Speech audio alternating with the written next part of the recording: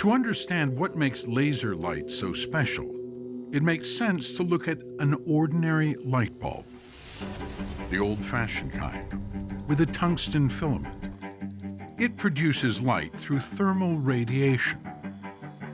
An electric current passing through the filament heats it up.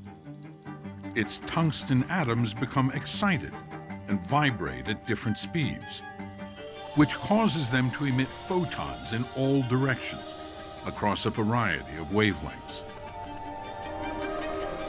Compared to a laser, this is chaos. Laser light is generated in an entirely different way, a fact hidden in its name, stimulated emission. Let's say we have inside an atom an electron that's at some excited state, some higher energy level, and now a photon of just the right frequency passes by the atom.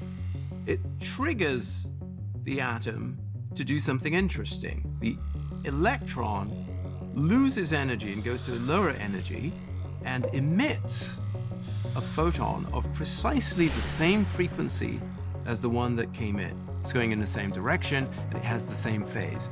So what we have there is a quantum mechanical amplification process.